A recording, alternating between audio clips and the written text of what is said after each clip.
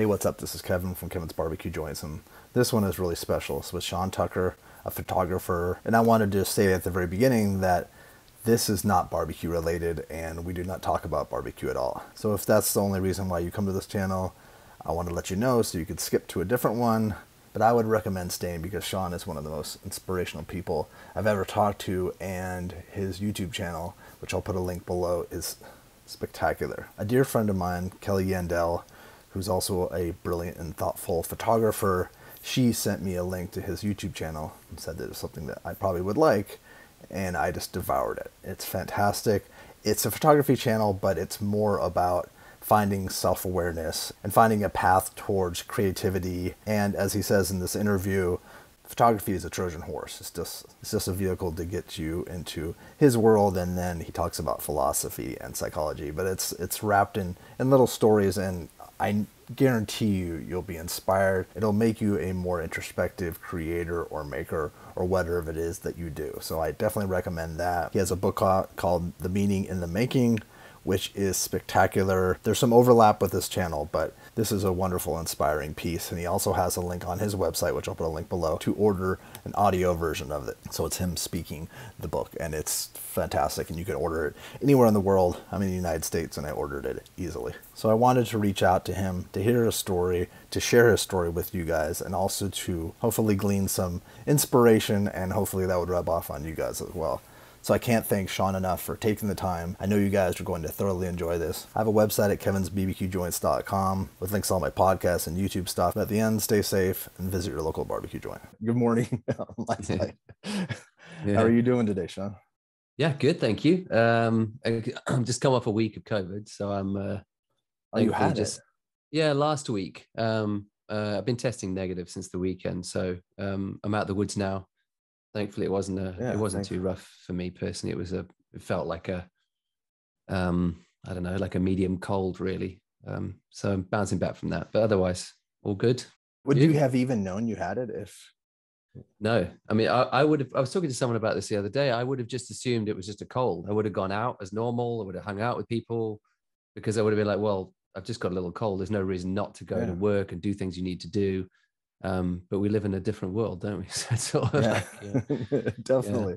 Yeah. yeah, it's a, it's and it's a world that I had never envisioned. I I have a strange memory. I mean, I have a strange imagination about like what a pandemic. Like I had always thought, like I wonder what a pandem- pandemic mm-hmm. would be like, or or a terrible virus that. And but then I never knew we'd be living through it. I never knew it would have the layers and the political layers and all the different. Oh yeah. Uh, those things I never thought for sure. But mm-hmm. I uh, I also I also just I, I never knew that this would um, be something that we could actually live with. I thought that mm-hmm. you know it would be the either the end of times or whatever. but I'm glad I'm glad you're I'm glad you're feeling better and that you know gosh uh, it's it's nice that we can you know this I think this what is I, the fourth fourth wave. So you probably have like the BA two. I don't, I don't know. Who knows? Well, yeah, one of the but fancy I, ones. Yeah fancy you have the more yeah the more evolved version of, mm-hmm. covid. But I, I, and i wanted to which was something that i like i touched on just with my imagination. Do you still love ghost stories? This is so this is going to be the most tangential interview i've ever done but do you still because i know that you had talked about i had one of a podcast that you were on or something you were talking about ghost stories and that was something that you were interested in as a child. Do you still like ghost stories I think I think I put them somewhere different in my head now. Like I don't necessarily know what I think about all that, but I love this idea that people in loads of cultures around the world reach for more, you know, and assume that there's more going on than we can see. I kind of love that. And that's always yeah. been in me, I think, which is what probably led me into spirituality and the church and the rest of it. I mean, personally, I can't claim to have ever to have ever seen anything myself like that i can't explain but i was desperately looking for it as a 10 11 12 year old yeah same um, it was my grandmother actually who who was the one who like she was the one who really seemed to see stuff that she couldn't explain and had this sort of connection to other stuff. But she's not somebody who's a dishonest person. So and, and i knew her as that. So there's no reason for her to lie. But i remember her walking i wasn't there but she walked into a pub in a uh, in a little town on the Welsh border called Ludlow uh, with my grandfather, and um, they kind of walked in the front door, and off to the left there was sort of the old lounge area and a fireplace, and there were a few a couple of old chairs by the fireplace. And he said to her, Why don't we go sit by the fireplace? We'll, we'll order a coffee. And she said, No, we can't sit there. That gentleman's sitting there. And he's like, Who are you talking about? And she's like, The, the man who's sitting there. And he couldn't see anybody sitting there. And the, the person at the reception overheard her say that. And she said, Yeah, she's not the first person who's seen him. Like, so, you know, stuff Oh, like that. yeah. You're like, Well, I mean, I can't see stuff like that. I haven't. But, you know, I also know enough to know that I don't know everything. So maybe who knows how things work? Who knows what happens? But yeah, I, I, I find it interesting. I just can't claim to know anything or have seen anything myself. it's hard to weave it into the fabric of your mind like how to how to figure how to how to weave it into everything that you believe in in life and it's it's difficult. I i in a past life because because you talk about how you photograph furniture and we'll get to all the, your backstory Mm. but uh i i sold furniture with my father when he was alive. That Mm. was high-end furniture to hotels and resorts and things and we had met with a woman who worked at the hotel del coronado which is in san diego and it's it's haunted or supposedly haunted and there's rooms that people either don't stay in or they want to stay in because they're haunted and she's and we were at lunch for something and i sat next to her and she talked about ghosts and she said that she that that there's a desk that's haunted and there's a ch- table and there's these things in, in her office and then she talked about the ghosts at the place but then she said she went to london and she was overwhelmed by the amount of mm-hmm. ghosts that she mm-hmm. it was it was too much And thought, yeah, "Oh, yeah, yeah, yeah. that's interesting. I guess there's yeah, there'd be more over where you are. There's more more ghosts than maybe over here, Yeah. different ghosts. But Yeah, but yeah. you so you were born in the United Kingdom, but then at six months did you move to? Yeah. So, well, um, born in born just outside London, and then six months old, we moved to Zimbabwe, which is a country in southern Africa. Okay. Um, and then it was uh, my parents split up when I was four years old, and my mom, my brother, and I came back to the UK. Um, but my mom just missed Africa; she wanted to live there. So uh, I think it would have been a few years after that we moved to Botswana, uh, where she met the local Barclays bank manager, and um, yeah, they got together and got married.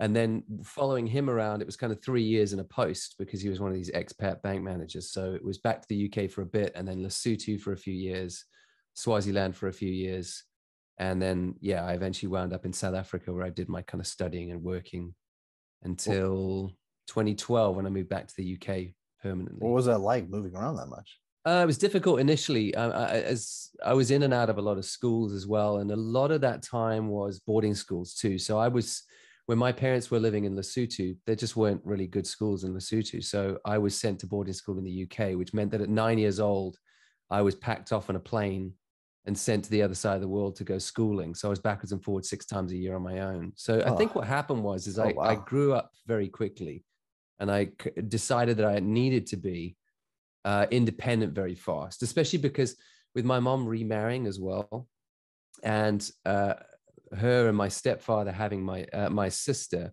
my brother and I, who was sort of from this previous marriage, and my stepdad was quite clear about the fact he didn't really want to have a lot to do with us. We were shipped off to boarding school. And I think we felt like we didn't belong in this new family that was forming. So being sent away very young to uh, the other side of the planet and kind of being left to fend for yourself, I, I was like, well, if I don't if I don't sort myself out, I'm in real trouble here. So, you know, I was I had these weird. I mean, the example I give is like, uh, and I think I talk about it in the book a little bit. Is like I used to when you used to go at that age and you flew on your own, um, like nine years old, you were basically teamed up with an air hostess who would take you, meet you at the front of the airport, I and walk you remember through the airport, and would take you on the plane and make sure you met somebody on the other end, and you get this little sticker which they put on your your your jersey, which would say "Young Flyer." But quickly, I was like, "No, there's no. I don't need your help." And I would I would lose her, and I would tear off the sticker, and I would throw it in the rubbish, and I would lose her so I could make my own way through. I still have my Garfield teddy bear that I was carrying with me, but I was going to sort myself out. I knew where I was going, so I think I, I I wanted to grow up very fast and sort of become self sufficient because I just felt like all the support structures I had, I couldn't trust them. Everything Oh, was yeah, moving yeah. around too much, you know.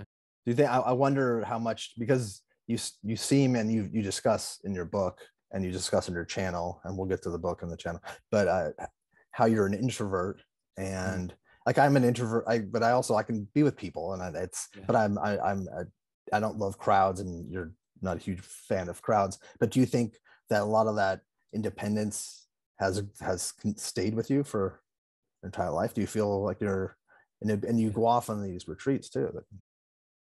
Yeah, I like it. I mean, I- um, I've always, I, I, since then, I've always been somebody who just sort of gets on with it and does their own thing. I've moved around a lot. I can, I can pretty much, I feel like I can pretty much start again at any point in my life and I'll be fine. Um, and uh, I guess the introvert thing, I mean, uh, the best definition I've heard of introvert extrovert is is an introvert is somebody who gets their energy back by being on their own, but an extrovert is somebody who gets their energy by being around other people.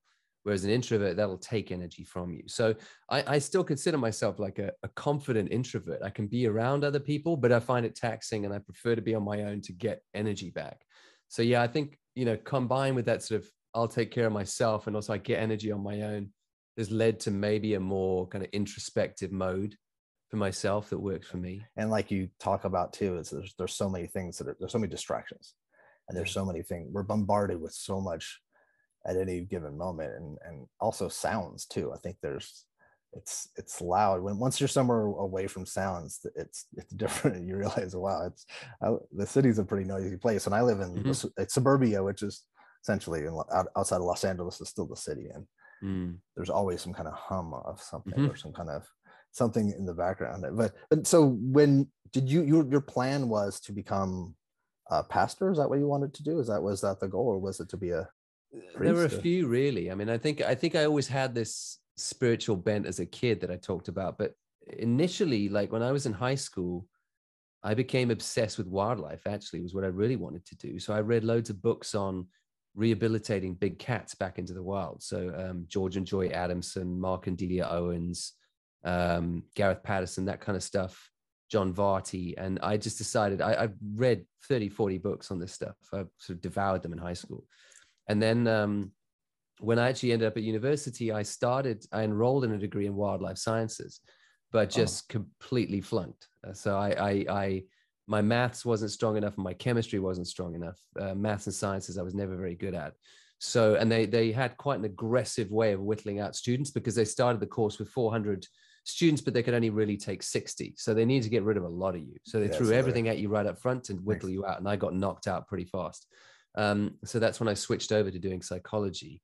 Uh, but at the time, I'd already started to work for churches on the side, and I'd done a gap year between university and high school where I traveled around with a music and drama group that was um, an yeah, evangelical yeah. group. Yeah, and that's that's sort of where I decided, okay, well, let me let me give this a go. Let me let me see if I can jump in to the what, church. What, so what I, was that like traveling? Because I read about that gap year and I listened to you talk about it too. Mm. Is was that was that an enjoyable time?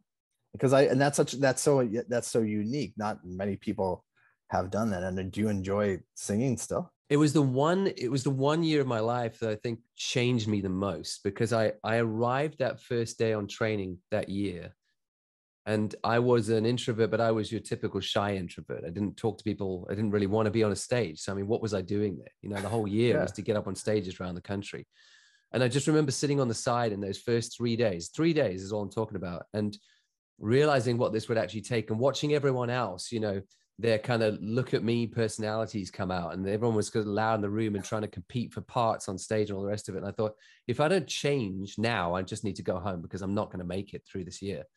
And I, I made a decision like, what does, what does being an introvert but being a confident version of me look like? Because I need to find that right now. And I, I made I, it's, a, it's one of the only times in my life I can point to making a decision about who I really wanted to be beyond just following the path of least resistance in my own personality.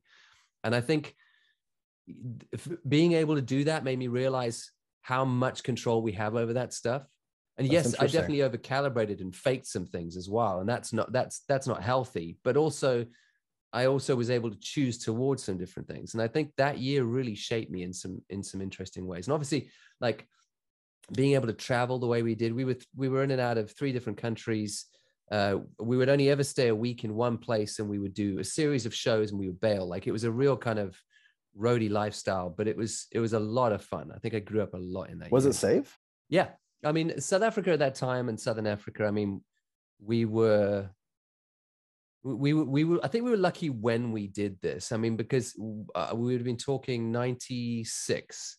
So Nelson Mandela had been president for two years, and um, yeah, I mean at that time, uh, if if this had been sort of 93, 94, I think there would have been concerns because no one was really sure which way the country was going to go. Yeah, but definitely. Nelson Mandela just stepped in and you know, he said no violence and everyone listened. And Ed, he really, one guy just pulled that country together and Which something that could have turned into absolute bloodshed. It was a proper miracle. Anyone who lived through that knows it was a proper miracle. And I think by that point, 96, we knew like we're going to try and make the best of this country together. And there was a spirit of, you know, togetherness with that. South Africans will call it Ubuntu. Um, so I, I think by then, yeah, there was a lot more. I mean, obviously, it's still it's still a dangerous country in terms of crime and the rest of it. Very very high crime rate, and Yeah. um, you know, I've had my fair share of runners in running with uh, with crime in South Africa, but but everyone kind of knows that that's the way that it is, and you you just get Yeah, I've heard people wear like their purses in the front, like in front of them, and or all, backpacks. all and that sort of stuff. yeah exactly stick your stick your handbag strap under the leg chair that you're sitting on you know park a car length away from the car in front of you at the traffic light so you can whip out into a bush if you need to because you're getting a hijack all that stuff Yeah, there's things. Yeah, like I've heard that if you there's places too, like if you get in a car accident, you go to the next town. Sometimes Yeah. because there's just, but there's places like that all around the world. There's places that absolutely and there's Yeah. places because I always like I. It's funny. I wanted to. I wanted to either go into like to be a zoologist or an Mm. archaeologist, and a lot of the places that I still are fascinated with archaeology wise, I cannot visit because they're not. Mhm. Uh, they're in war zones or they're in places Mhm. that are not safe. But uh, I guess maybe that's part of the Mississippi. If it was something that was easy to visit, then it'd become Disneyland and and Mhm. maybe there'd be far too many people. There's already I've already heard. I have a friend I, I interviewed who went went to Egypt for um, to Cairo for a barbecue place that they opened, and they said that they were hustled over by the pyramids. Like there's like a hustle about getting on a camel. It's like, uh, like they, they'll, they you get on the camel and then you get off and they charge you two hundred dollars for.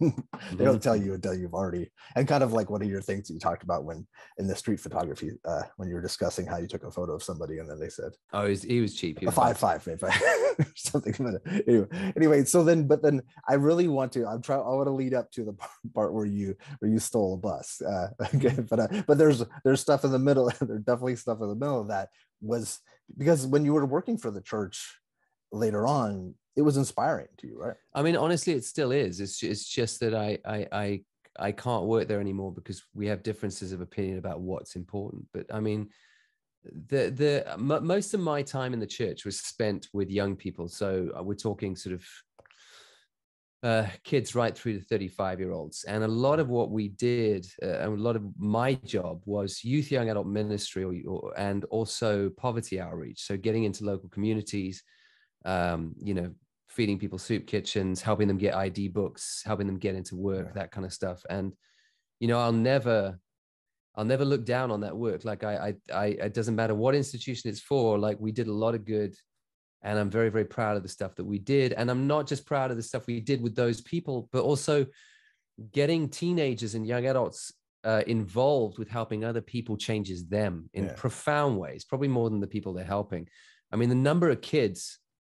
I mean, anxiety is just an epidemic these days. Everyone seems to have proper anxiety. Everyone, everyone has an anxiety disorder, which I'm Yeah. not sure is true. I think we just have anxiety. We've forgotten that all human That's- beings have anxiety. It's a normal emotion. But Yeah. um, the number of kids who claim, you know, I really, really struggle with anxiety, and the minute you put them to work helping other people, it evaporates because suddenly they get a bit of context in their life. And wow, this is what real issues look like. I Mhm. don't have to make something up. I could point my life at something better, and suddenly my energies are put in a, in a in a good direction to help other people. Like I I think the church, the church at its best when it's not when it's not arguing about petty things or trying to bully people into dogma, can do an can do some amazing stuff. And Mhm. and and and yeah, I did see a lot of that, and and I was a part of a lot of that, and I think.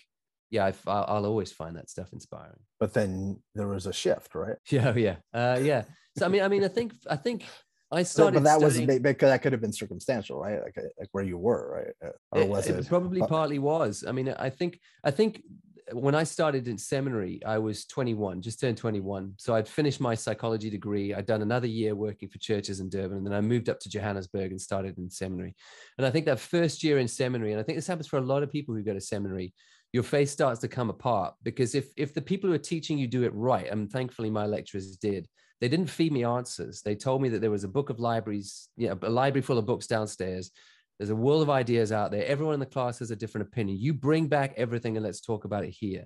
And I had a class with uh, Xhosa people, Zulu people, um, Wow. Indian South Africans, Chinese South Africans, Afrikaans South Africans, myself, which have been more English South Africans. everyone with completely different backgrounds and worldviews. So when you add a theology to that, where you're trying to make sense of a God who exists in all these different cultures with all these different ideas, suddenly you start pulling at threads going, well, if that doesn't make sense to him, I can't pretend it makes sense to me. It has to make sense to everybody, or it's my own cultural construction and not really true. So, mm-hmm. and you start pulling at those threads and things come unravel very, very fast. So, for me, I think by the time I left seminary, I already knew I wasn't going to last there very long, but I was just going to do it because I felt like there was a lot of good that I could do. And I still had a faith. It wasn't that, it was just, it, I, I wouldn't take the Bible literally. There were loads of things that meant that actually I wasn't going to last in the institution because you had to do a bunch of stuff that I wasn't willing to do anymore. Yeah, and then I I worked for seven churches all in all, and then the last the last church I was politely asked to leave because um, it came to a head with them because we had some very serious xenophobic attacks in Cape Town in 2008. Okay. Uh, which often kick off in South Africa, where you know employment is is incredibly low. I think there's something like 40% unemployment in South Africa, which is insane. And then you've got people coming in from Angola and Zambia and Somalia and oh, setting oh, okay. up uh, corner shops and making some decent money in local communities but the rest of the community go, why don't we have jobs? And they decide en masse, it, it spreads like wildfire. We're going to go burn everyone else's shops down who's not a local South African. And this started kicking off and people were dying. And we basically went to the church and said, we need to get people out now. Uh, let's take the bus in and get them out. And uh, so they turned around to us and said, uh, no, because, uh, you know, God has given us the bus and we have to be good stewards of the bus and it might get scratched or dinged or dented. And so we stole the bus, obviously, and we went in all day and bus people out, but we couldn't take them to the church because obviously they'd work out what we'd done, but also they weren't welcome there. I mean, we were even told with the um, with the with the guys that we ran soup kitchens with, we wanted to bring them to services on Sunday night because I ran the Sunday evening services, and we were told no because they might mess up the furniture, and they'd installed metal spikes outside the front door of the church so they couldn't shelter under the porch in the rain and all this stuff. And I was just like, I, that that was kind of the the last straw for me. And I started standing up on a Sunday and saying, guys, we're full of crap. Like like the, the even the book we say we buy, you know, that, that it's it, it seems obvious to me that if you if you think this guy is a real guy, like a real Jewish teacher who walked around, he seemed to care more about poor people than he and, and and he left his choicest insults for the religious leaders of his day. We are so far off the map. So I was basically um, asked to leave or shut up or leave, and I said I'm not going to shut up. That's not possible at this stage. But so you knew was, that was coming, right? Well, it, it, it had been a long time coming, honestly, and they'd been writing on the wall for a long time. It wasn't a shock, and I calculated. You know, I knew this was important enough to me to lose it. I wasn't willing to carry on and shut up about it. And yes, there was definitely like a part of me that was, you know, a 20 something young zealot who wanted to be a bit of an iconoclast. So there was definitely some yeah, ego at that age. There's but I still buy it. You know, I bought it. I still buy it today. It's just mm-hmm. I, I and and you I might do probably. Yeah, and I might do a couple of things differently now, but I think the choice at the end of the day still would have been the same. Did you have at that time because I know you talk about later in your life that you got into videography and photography, but did you have a pocket camera or any type of camera or were you taking any photos during that time? Not on the day to day. No, I think this was this was like before this. I didn't even know there was like, this. Like, you mean like a throwaway camera like that. I mean, you, you, used to have like a. I had a I had a plastic DV Handycam, which was with a DV tape and a flip out screen. Yeah, but I'd never take it out for like random things. I wouldn't vlog with it, for example. That wasn't a thing. No, of course not. Yeah. But... You know, phones couldn't take video at that point. Um, these DV Handycams were a pain in the ass because you had to take the tape out and put it into a machine and then capture it into a computer and then convert a codec and then try. Co- it just wasn't worth it. So yeah. I wasn't filming like we film now at all. No, but I did have one. Yeah, because I yeah. did a little bit of video work on the side of church because it, it is amazing too. There was a time, and it's not too long ago, that even sending one photo to somebody was a hassle, or you had to email yeah. to somebody and they had to be lucky enough to be able to figure yeah. out a, and then to print it up on like a dot matrix printer or something. It was just it's amazing how easy I, I, always it always it boggles my mind how much information is flowing at every any given time. Like say there's an event, like a terrible event or a concert, or how much footage is all? It's amazing that it can all be stored somewhere. It's it's yeah. it's, yeah. hard to imagine. But then when you made your way back to you, so then did, from there, did you go back to London or? It was a couple of years in between where I, I uh, this is where a friend of mine came to me and he said, "Well, look, you've you've you've lost this career. uh, by your own choice as well. Because there were other churches asking me to go work for them, and I just said, "I'm Oh. I'm definitely out now. Uh, You know, I need to stop bumping my head against the same wall." But my friend said to me, "Well, you might as well choose something you love to do now and try and make that a career." And I'd already been doing the video stuff and enjoyed photography, so I thought, "I wonder if I could make that a career." So there were a couple of years where I tried to freelance in South Africa with very like mixed success. Uh, I was mostly waiting tables to pay the bills for a good few years. Yeah. And then I picked up a job full time working for a company that sold fancy kitchen tools for a year in Cape Town called Yuppiechef. I was their in-house like product photographer, videographer guy for for a year. Oh, I see. And then when that ended, I I decided, you know, that that was pretty much the only e-commerce photography job in the country at the time. They were the company that kept winning the, the e-commerce awards. I don't think any others really had the the the budget to be able to hire someone full time just to do that. So I thought Yeah. I need to come back, and that's when I arrived here in 2012, and then sort of hit the ground running from there and picked up work photographing sofas. Yeah, so it's back to sort of product photography for a bit. That was a good four years. but that sometimes people like structure like that. Yeah, I mean, I, I, you have to remember, like, I just come out of waiting tables, and and the, the waiting table thing was particularly humiliating because I was doing it around the corner from the church I used to work at. So I went almost overnight from standing up on a stage on Sundays and having 300 people listen to every word I said, to going round the corner to make peanuts waiting tables at a cafe where those people would come in often Yeah, I can imagine. and I would have to serve them their coffee and shut up and get out the way so they could have their conversation. So it was a massive ego knock and probably a good thing for me. And then, uh, you know, when I when I finally started to make headway and be able to make money with a camera in hand, the fact that it wasn't creatively fulfilling was like a luxury I didn't even think about at the time. I was just grateful to point. be able to. And so, yes, it was very technical and very repetitive work. And uh, but I had to design systems and come up with lighting that worked. So there was initially a lot of creative stuff to set it up. And then, yes, it was every day just plowing through a production line of sofas, which wasn't very exciting. But then I just used to make sure that I was taking photographs in my own time that were creatively fulfilling for me. So I didn't hate my camera at the end of the day. but was that your camera and your lighting equipment at that place? Uh, yeah. So, so it was all my cameras, my lenses, and everything else, but they did buy their own lighting, which was Yeah. good. But I mean, again, I mean, big companies should be buying all their own gear. They shouldn't be asking photographers no, of course. to use their. Hey, do you mind just using your kit? I mean, this is a this was a big company. They wanted to put themselves on the stock exchange and stuff, and now I'm using my own cameras. I'm like, come on, guys.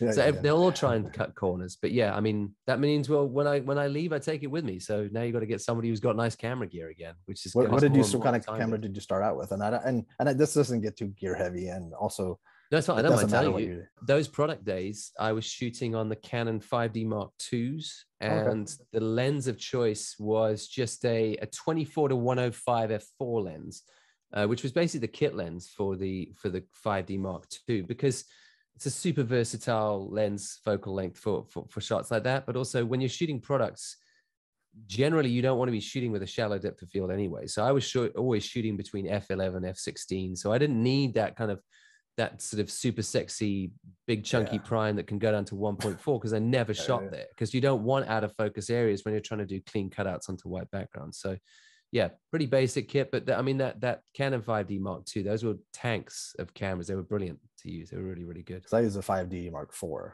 and Oh yeah, there you Yeah, go. Yeah. but I I I cannot call myself a photographer. Someday maybe. And I've often asked asked people, when did you feel like you can call yourself a photographer? Was there? Hey, man, if you take photos, you're a photographer. Yeah, I, I know. That's very true. But then, then Yeah. everyone is because they have them on their phone. They can. Yeah. Well, funny, I like, mean, you it- might not be a professional photographer, but you're, you're definitely a photographer. when you can consider, yeah, like I've often wondered when you consider yourself a professional photographer, and does that require payment or does that require a certain skill level or I think I think it's payment. I think it's that simple. I think it's when people are willing to give you money for the thing you do. Yeah, I mean, because if you start saying, "Well, it's it's a particular set of skills," everyone will disagree about what those skills are. And I know some incredible photographers who aren't very technical. They don't know a lot of skill, but they have an amazing sense of how to use a camera on auto. You know, so I think yeah, when people are willing to hire you to do what you do, and you can produce work uh, at a, at a particular consistency. I think this is what I tell photographers who want to make photography a job is you have to remember this is not about that one photograph you took that you think is brilliant. It's about being able to do that or get very close when a client asks you on a day when the conditions aren't there. Mm-hmm. It's it's consistency. Can you produce a particular standard of photography for anybody, no matter what the situation is, because you know some of what you're doing. You can't That's rely good. on those three shots you took once that are brilliant that you put on your website.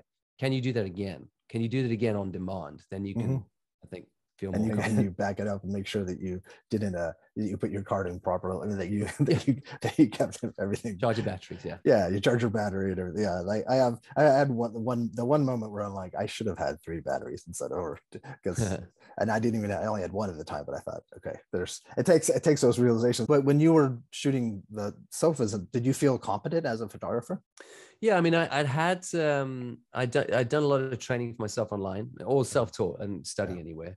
Um, I'd done that year uh, with the food photography company where I learned a lot about product photography, and they knew they were taking a little bit of a chance on me because they knew that I could I could photograph competently, but they also knew because I was very honest with them that product photography specifically was new to me. And they were like, "Well, we're a growing company. We're happy to work on this together." So I learned a lot there. And then I think by the time I went to this company to shoot sofas, I realized like I knew the technicals about how to do product photography, but the scale was going to be different because yeah. I think there's a thousand videos online at the time on how to do tabletop product photography with small products and small oh, yeah. lights. But there was very little about how do you shoot a, a dining table with 12 chairs around it so that yeah. you get clean lines, you don't get a mess of shadows underneath, and also that you're uh, lighting all of that so that it it looks it looks good. Um, natural, and obviously, you're going to need six seven lights to do that. That scale and watch out for reflections and and yeah. things shining off varnish, all that kind of stuff. I, I wasn't sure about the scale, and I think I I basically said to them, "Yes, I'll do the job," and then I quickly made sure I knew what I was doing before I arrived. And then yeah, I mean, I knew I was confident on day one that I knew way more than they did. So they wouldn't be able to pick up my mistakes as I went, and I would yeah. be able to learn fast um yeah i mean they're they're they're i was already going to be able to take their photography from fairly crap to pretty good and then i was going to tweak it to great as i went along so i was did fairly you, confident. did you from there did you start doing things on your own? Because you're doing this street photography and when you describe street photography i don't know if i've thought of it the way and maybe it's because it's london and it's different but i never thought of it in it in the aspect of the, the the legalities or people confronting you but i also never do that. I never come up like yeah. I'm, and maybe and because everything's so spread out here too, there's not a whole lot of yeah those tight spaces. You're doing street photography with your phone, and you're being that was inspiring. But what? How did you get to the next? Street photography was like I, I did it as a as an antidote to the day job because it was getting technical, and so I just decided I had a route from the train station back to my flat in London, which took me about half an hour to walk every day to to the station and back from the station at the end of the day. And I just gave myself a little challenge saying, well, to get photography back for myself, I'll just use, I think I had an iPhone 6 at the time. I'm just going to walk this route and I'm going to try and take one photograph that I like between here and home. And I don't have to slow down much. I'm just going to shoot intuitively and see if I can get one photo at least that I can post online that I think is sort of interesting. Oh. Just to get back into creating intuitively and not having to worry about, you know, seven lights and settings in camera and white balance and all the rest of it. And uh, from there, I realized pretty quickly that I didn't want to do uh, photography that was confrontational at all because it doesn't suit my personality type. So I didn't photograph people as much as I photographed interesting light and shadow that was falling in spaces.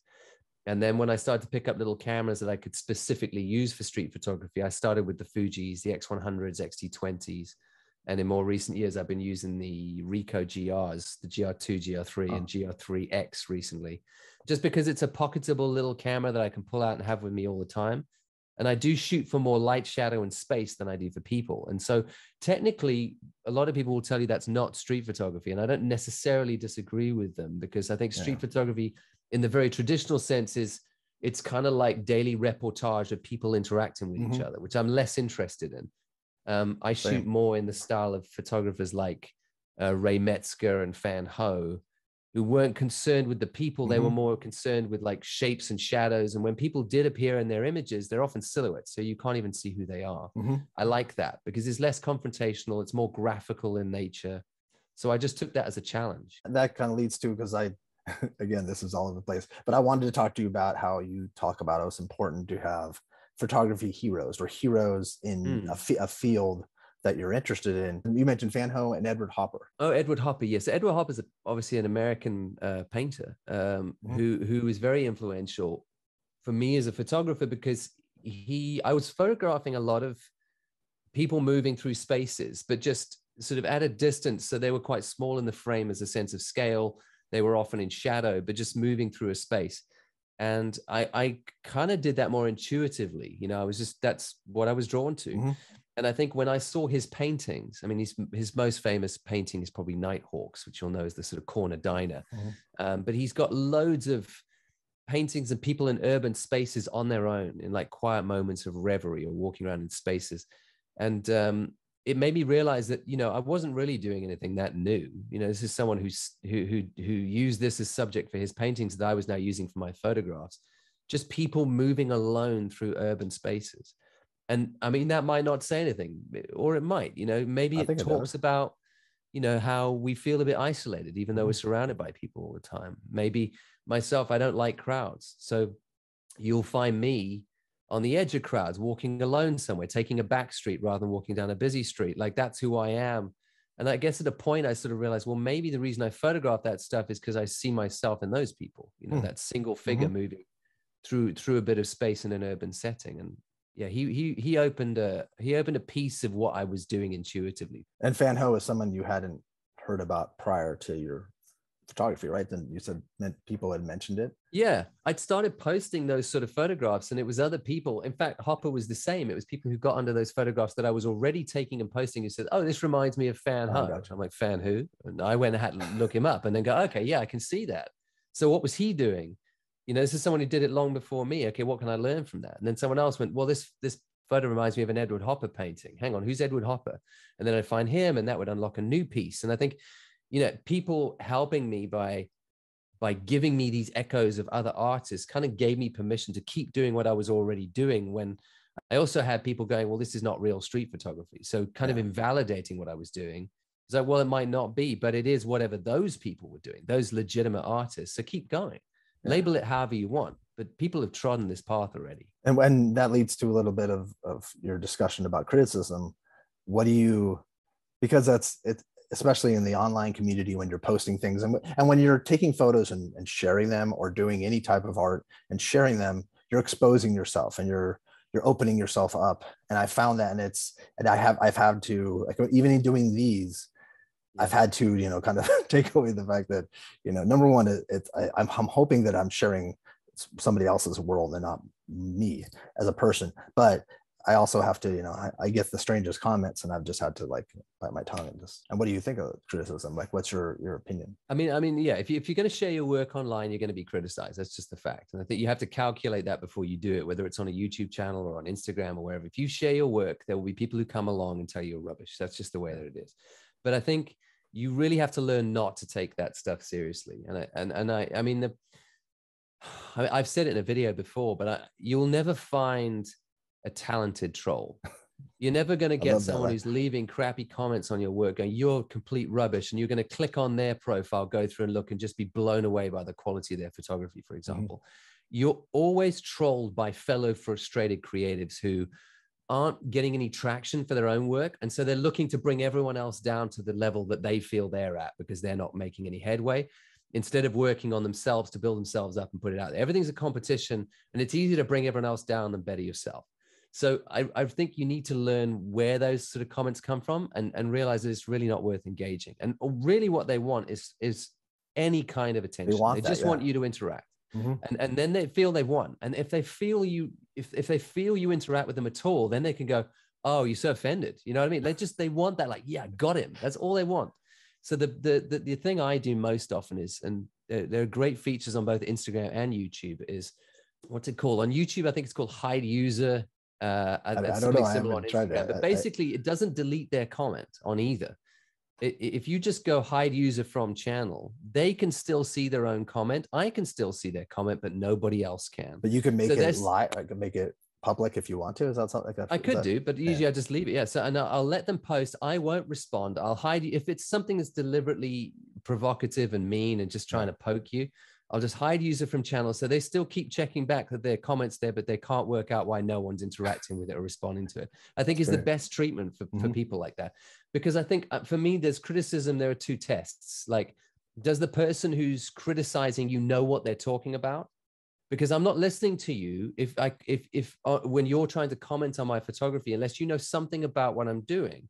Because if you don't have a particular skill set, then then I don't know if you know what you're talking about. Mm-hmm it's like it's uh, the example I use in the book is if a first year acting student writes an email to Tom Hanks to tell him he doesn't know how to act in his latest movie and starts yeah. telling him you're a rubbish actor, Tom Hanks. I hope Tom Hanks is not going to listen to that first year acting student. And he might be generous and, you know, sort of put him down kindly, but he's not going to change his acting style because an, an, unknown first year acting student thinks he suddenly knows everything.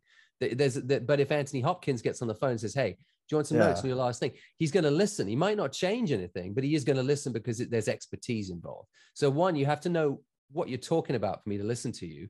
And the other is I have to know you care because it's that it's that Theodore Roosevelt, you know, quote that says, no one cares how much you know until they know how much you care. If if if I know you care about me and my mm-hmm. journey mm-hmm. and you really want to see me get better, then I'm I want yeah, to hear what you have to, to say. Mm-hmm. But if, if if you're just jealous or you're angry that you're not succeeding and you're throwing out vitriol, I nothing you say means anything positive or negative. By the way, that's the other thing is I don't take the positive comments very seriously either well, because I don't know if you know important. what you're talking about. So I'm not going to mm-hmm. let the positive comments inflate my ego like they're a big deal. It, it works for positive and negative. You have to have expertise, know what you're talking about, and you have to. I have to know you care and that you mean what you're saying. I think that's and that's that's a great lesson, and that's a hard lesson to learn is to not take all the positive notes too, because. Mm I think that in the end, like your friends all want you to be happy and they want so that or people that that know you. And so they'll overinflate your ego and they'll they'll say things. But and then also like in, in your book, you get you you break down specifically what e- ego has the word ego has changed the definition of what people think ego is has changed and we won't discuss it in this but i again you should i'll put a link, a link below to your book your book is also available on audio i am in the united states I, I was able to download it. So it's it is something that I, I actually it was like a test to see if it worked. I think it went through PayPal or something. It was so hmm. easy. It was it's and it, it's available on it. Your book's available on Amazon and all. We'll I want to talk about the book, but I wanted to talk about before I got into the success. Like I, I was curious as to when like how surprising the success of your YouTube channel and everything was to you, but your voice. I've also like I've I've talked to a lot of friends. I keep saying I can't find my voice. I don't have Mm. I don't mm. feel, and I and I feel I don't know if I ever will find 100%, but I'm always searching. I'm searching for my voice in everything creative that I do. Can you talk a little about a bit about voice and? Yeah, I I, I guess I'll use myself as an example with the YouTube channel. I think I think where my voice comes from on that channel is pretty obvious. It's it's it comes from everything that came before. So there in there is my psychology degree is in there because mm-hmm. that that became a fascination for me and I found that interesting. So there's a lot of me talking about psychology. Yeah.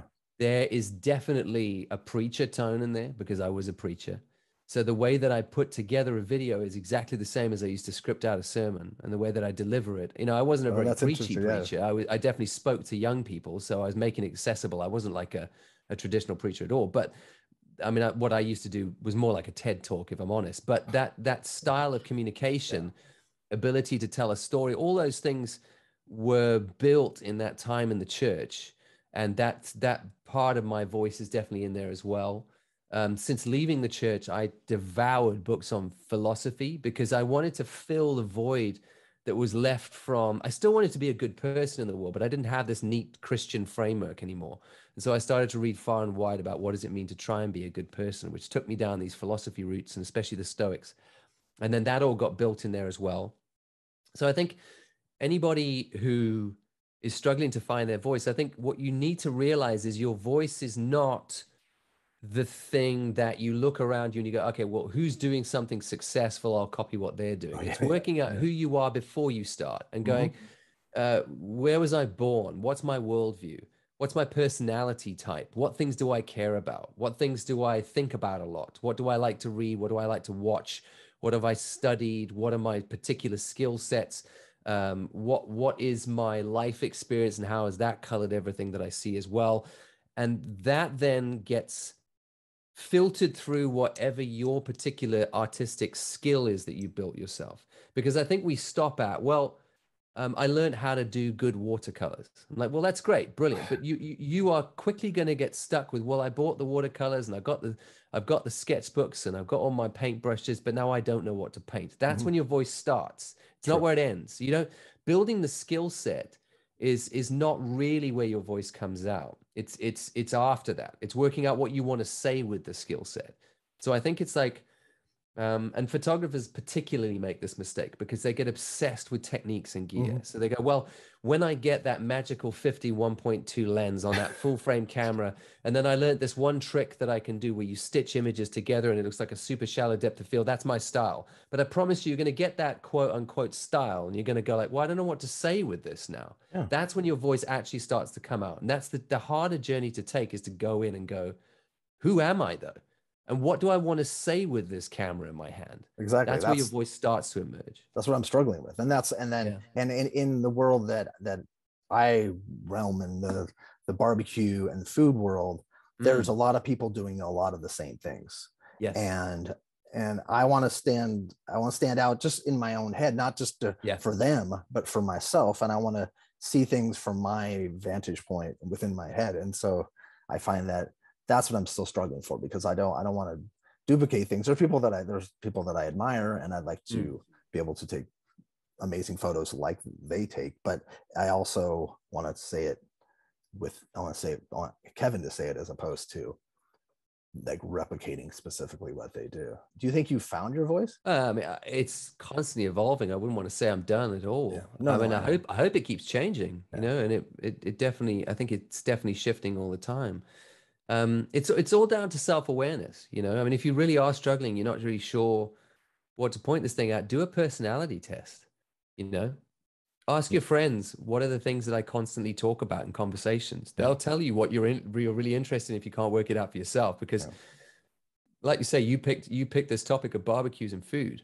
Okay, but that's that's the broad topic. What else are you interested in? Yeah, yeah people how are you interested in people how can you start to feed that flavor into how you talk about this thing that everyone else talks about as well how can you make it yours i think the way that i talk about photography is very different to the way another photography channel might talk about photography and oh, that's because doubt, yeah. i took very very seriously trying to build in as many pieces of myself i mean if, if i'm honest I think I think it's no secret on my channel that actually photography is a little bit of a Trojan horse. That you know that I'm more interested in other stuff. Yeah the, the topic might be photography, but actually it's not really what I'm interested in talking about. I mean, people, I, I, I think it made it over there to the States, but that there's this, um, there's a long running show on TV here called Top Gear about cars, mm-hmm. um, which, uh, which made it around the world everywhere, but no one watched it because of cars.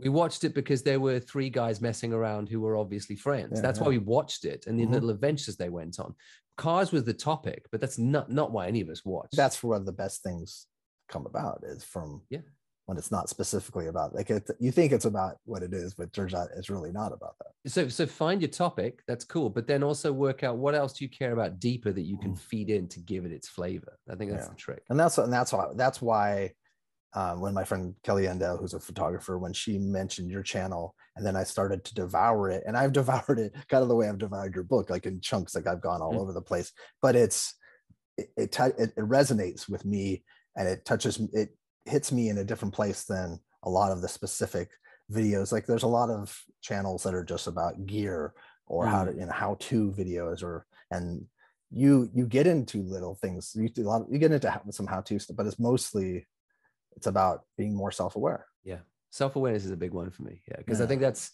that's i've realized one of the things that's changed my life the most is getting to know myself better and, and how i'm wired good and bad um, and I, I, I push that quite hard because I really think it's a key that unlocks so many things for someone. It's a hard road, yeah, and that's all. Yeah, when you find out truths about yourself, those are some of the hardest truths to you know to swallow. Because, oh yeah, oh, because yeah. you think because I I think we kind of trick ourselves into thinking that we are one type of person and one person and then you mm. start to realize really who you are and you've gone through similar things and we're not going to touch into that but you've gone through certain life events that i've gone through mm. and when you're honest about it on your channel and I, i'll i'll I'm going to put a companion blog piece with this, and I'll, I'll put Cool. links to a number Yeah. of different things that you discuss. But it's Yeah.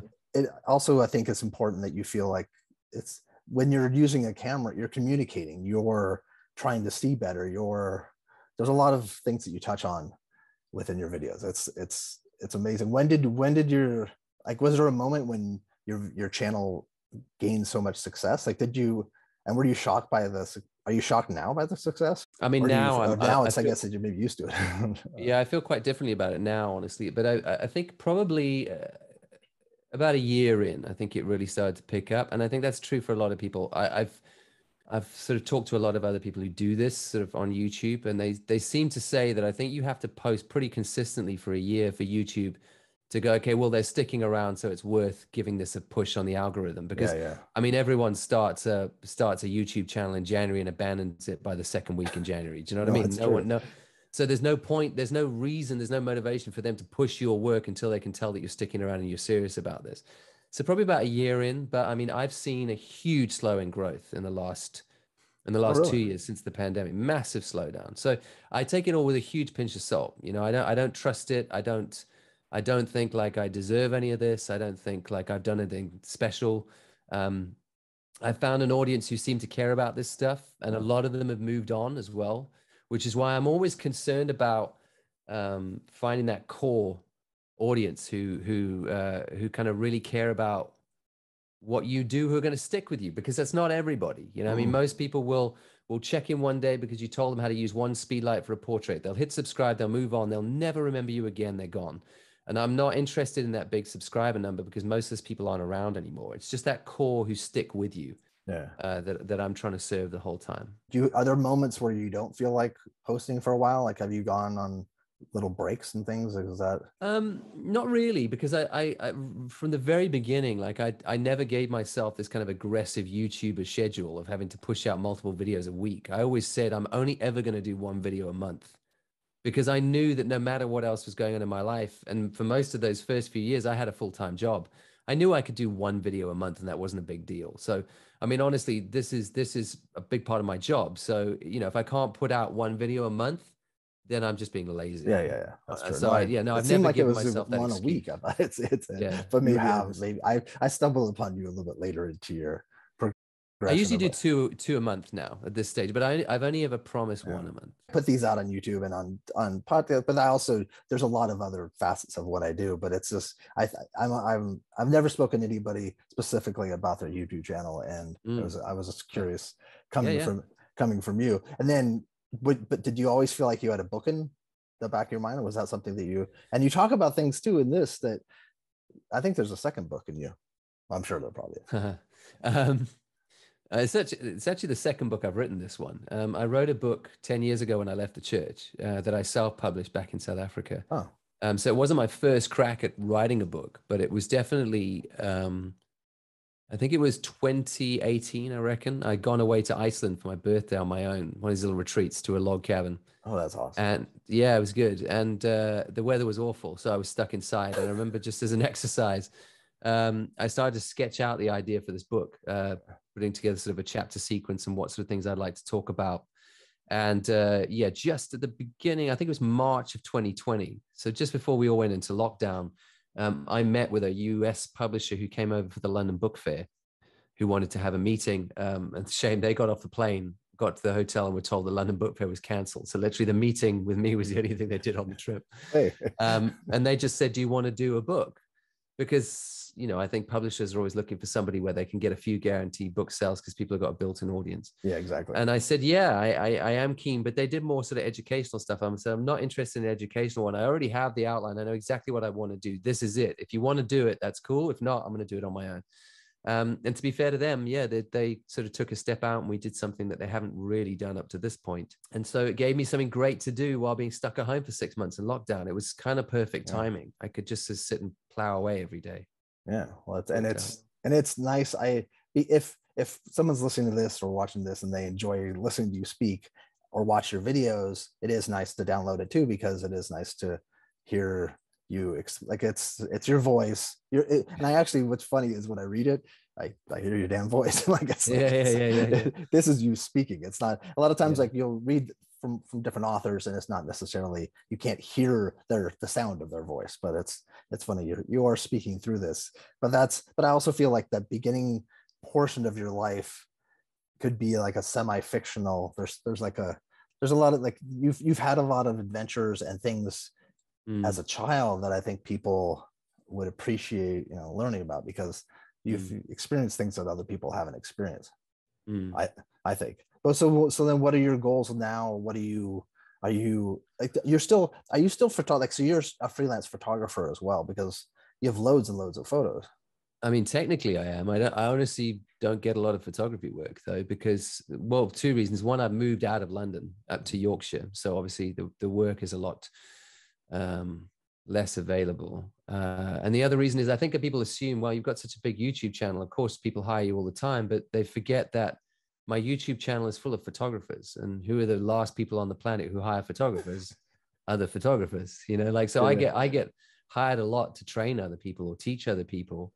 Um, I don't get hired to do the photography work as much anymore because I've shifted into that space. Uh, so yeah, I don't know. I mean, if, if, people want to hire you for that? Is that something that you would? Yeah, do? yeah, yeah, yeah. I mean, I, I, uh, I am starting up sort of. Uh, I'm hopefully middle of the year. I'm going to start up doing sort of one-to-one mentoring again. Mm-hmm. Uh, I do want to get back to doing portrait photography workshops and traveling around and doing those a little bit too. Uh, I've got a creative retreat which I'm running in June. That I was going to talk about that. Yeah, it's full at the moment. I think there might be one space left, but I think it's probably full at this stage. Um, but that's in Tuscany in Italy. And I wanted to sort of make the creative retreat sort of digging in on some of the content of the book as well, something that I do fairly regularly uh, going forward in the years. And then, yeah, it's just a bit of, bit of everything. It's, you know, the book and keeping the channel going and doing my own photography projects. Uh, yeah, I sell a book of photography every year. And uh, yeah, that's that that kind of keeps me going for now although things are definitely changing. So i am looking for other things to do as well and so to branch branch out a little bit. Sell a book of photography you mean you have you put together a book and you sell like a thousand copies or something? Is that yeah so it's they're called collections. Uh, I, am on collection five this year oh. uh, and uh, i sell those from my website hard copy. So it's 90 images every year 45 color 45 black and white with some of the quotes from some of the videos in the same year. Okay. Is that something that when does that go on sale? Usually goes on sale in January. So uh, anyone who keeps an eye out, and when they when they're gone, they're gone. So they're kind of limited. So it's sold, it's sold out. Uh, no, there are copies left for this year. Yeah. Okay, so, so it's on. Is it on your? Is a link on your website? On my on my website, yeah. Okay, I, I wanted to discuss the importance. You could because you discuss it. The importance of walks and mm. do you listen to music when you're on your walks? Because you said a lot how important it is to think on your walks yeah i mean i i the reason i started walking was just because i think it was sort of to replace prayer time from church you know? Like prayer time for me was just and it wasn't i think i took prayer very loosely. I wouldn't sort of sit and necessarily say a bunch of stuff or ask for things. It was more like just meditation and being quiet you know? Mm. um but i do find that just sort of sitting and staring at a wall my mind bounces around quite a lot. And i found the, the, the best way to sort of let my mind click into that sort of subconscious space was to go for a walk. And then, uh, yeah, I, so I, I, I made it kind of a regular practice and still do now to go on regular long walks. That was when I do my best thinking. Mm. Um, so sometimes, yeah, I listen to podcasts or sometimes I listen to music or sometimes nothing at all. I just want to be quiet. And the whole, the whole reason for it is because, I mean, I think the, it's fairly common to sort of say to people, you know, when do you get your best ideas? And they'll say something like in when I'm in the shower, yeah. you know, because because it's one of the few times in our lives where we don't have stimuli in front of us. We don't have a screen where we're watching television or, yeah. on the computer or reading emails. We're literally in there on our own and we're quiet and there's water falling and our mind starts processing on a different level. It's not trying to force, you know, conscious solutions through. It's just sort of doing That's, that creative yeah. processing our subconscious does. So it's whatever works for you to let yourself get into that space where you have that what I call like generative mental space where you can shut down the sort of very busy mind and let your subconscious go to work. And walking really does that for me. So yeah, I just make it quite a regular practice to head out on fairly long walks. Yeah, I think that's great advice. And are there specific because you mentioned Fan Ho and then uh, Edward Edward Hopper, but are there photographers right now that are your heroes or the ones that have passed? Because and I'll put I'll put links below and I'll put in the in the um, the companion blog piece as well about people that are inspired by other pe- other people that inspire you now, or or or is there other too many to name and then you don't want to? Yeah, there's a lot. I mean, I can give you a selection. There are a lot of photographers. I, yeah. I suppose um, Sebastião Salgado is one of my favorites. Uh, black and white, mostly film photographer through most of his career, but has photographed some of the most heavy subject matter uh, with refugees and oh.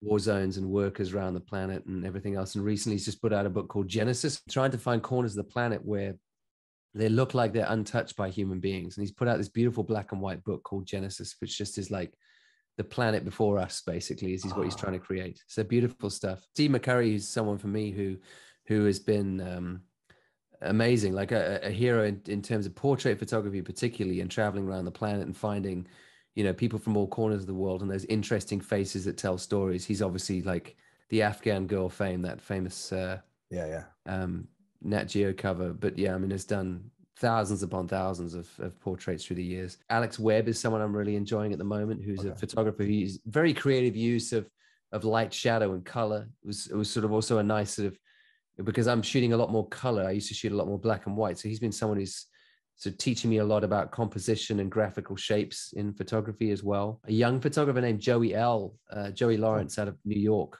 uh, fantastic photographer who's who's who's I've kind of watched. I think he's younger than me. He's he, but he's one of these guys who, you know, has that all the commercial chops that you want to have, but puts his his money into airplane tickets for him and his crew so he can go and take photographs with the holy men on the banks of the Ganges or oh, tribes wow. in the Omo Valley and like produces some gorgeous, gorgeous portraits. And and he even got a tribe in the Omo Valley to write their own film and then cast themselves in it. And he took a film crew over and filmed their film for them. And it's That's beautifully amazing. shot. so somebody who's trying to take his particular skill set and use it in really creative ways to help people who might not have access to that stuff is is someone I find very impressive. Okay, I'll I'll put links below to for other people, but I I'll definitely check all the people out. I mm. and that's that's that's really interesting. Do you find yourself? Do you ever want to travel further? And have you been to the United States?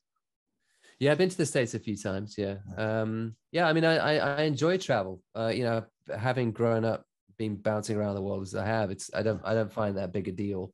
Um, but yeah, I just I love seeing new places. I love I love seeing how different people think and what they value, and I, especially when you get outside of the cities, I find that really fascinating and yeah. encouraging. So, yeah, I mean, honestly, mostly only uh, Africa, the US, and Europe are the, are the places yeah. I've stuck to. But I'd love to see South America. I'd love to see Asia. Yeah, I've got a lot of places I'm I still need to go. But yeah, have you gone back to Iceland and have you been able to shoot it? Not yet. I haven't been back since that that last trip. No, which has been my only trip. Because that looks when I everything I've seen, I've watched YouTube videos of Iceland. Yeah, like, like a maniac. It, it looks so beautiful. It looks unworldly. It looks. Oh, it's gorgeous. Yeah, it's it's it's one of those unique landscapes. If you see a picture of Iceland, you know it's Iceland straight mm-hmm. away mm-hmm. because there's nowhere that really looks like that. So mm-hmm. maybe the Faroe Islands, but that kind of yeah, I was gonna say the Faroe Islands, very yeah. very similar. Yeah. I get I'm on a somehow a YouTube algorithm for the Faroe Islands. Yeah, yeah. somehow, yeah. Every time it pops up, I'm like, that's beautiful. Oh, of course, it's the Faroe Islands. Yeah, yeah, that's why. But thank you so much for taking your time, Sean. I I I really appreciate this. I've been looking forward to this and I appreciate what you're doing and what you're sharing. And I think it's not just, you're not just put it pumping out a YouTube channel uh, and you can do that. People can do whatever they want, but I feel like there's heart and there's soul behind what you're doing. And your book is fantastic. And I'll put it here again. Well, I'll put a, I'll put a picture of the cover. Do you have any image of the cover you can send me? Uh, yeah, yeah, yeah. But I, I just, I, I appreciate what you're doing and I hope to, you know, I hope you continue what you're doing because I, I love following your work and I'm inspired daily by what you do. So I appreciate it. Thank you. Yeah, thanks for taking the time. You're very welcome. Thanks for having me.